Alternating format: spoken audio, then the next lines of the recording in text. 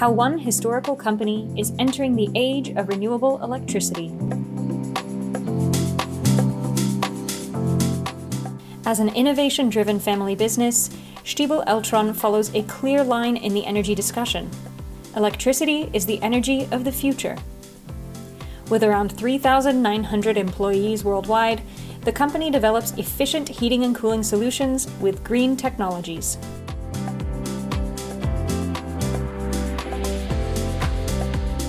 Das Gebäude ähm, wurde 2015 errichtet, wird also quasi jetzt äh, in Kürze fünf Jahre alt und äh, wir können uns das jetzt gemeinsam anschauen. Sie sind zu Gast bei Stiebe Eltron in Holzminden. Stiebe Eltron ist ein familiengeführtes Unternehmen, gegründet 1924 und steht für komfortable, effiziente und umweltschonende Haustechnik. Ähm, diese Produkte oder beziehungsweise unsere DNA wollten wir natürlich auch in diesem Gebäude nicht nur rüberbringen, sondern auch präsentieren. Das Unternehmen Stiebel Eltron entwickelt, produziert und vertreibt Anlagen für gute Luft in Wohn- und Nichtwohngebäuden. Vor dem Hintergrund war es natürlich extrem wichtig, dem Teilnehmer, dem Besucher auch äh, genau dies äh, so zu transportieren und für gute Luft stets und ständig zu sorgen.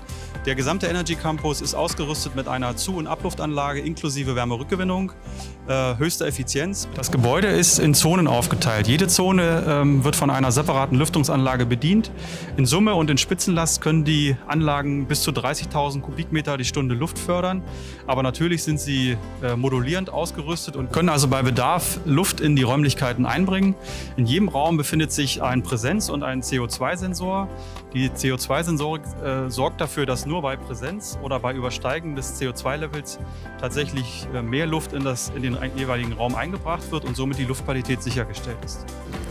Wir befinden uns jetzt in der Energiezentrale des Energy Campus. Der Energieträger von Stiebe Eltron oder äh, für den Stiebe Eltron steht, ist Strom. Für uns war es deshalb von Beginn an sehr wichtig, auch dieses Gebäude nur mit dem Energieträger Strom zu betreiben. Ähm, Herzstück vor denen ich, äh, der, der Energiezentrale stehe ich gerade davor, sind zwei äh, Sohle-Wasserwärmepumpen, die hier die erneuerbare Energie dem Grundwasser entziehen und für dieses Gebäude Heizung als auch Kälte zur Verfügung stellen. Vor allem die Kombination mit der Photovoltaik kommt hier jetzt noch ins Spiel. Ähm, Sie haben vielleicht schon am Eingang des Gebäudes gesehen, dass das äh, Gebäude aktiviert ist mit Photovoltaikflächen.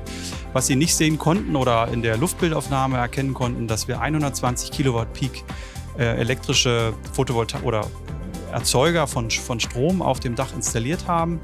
Ähm, in meinem Rücken oder hier auf der linken Seite erkennen Sie die Wechselrichter des Systems und unser Ziel ist es, möglichst viel selbst erzeugten Strom hier direkt in unserer Anlagentechnik zu verwenden. Wir können mit Stolz sagen, dass wir seit 2018 ein wirkliches Plus-Energiegebäude sind.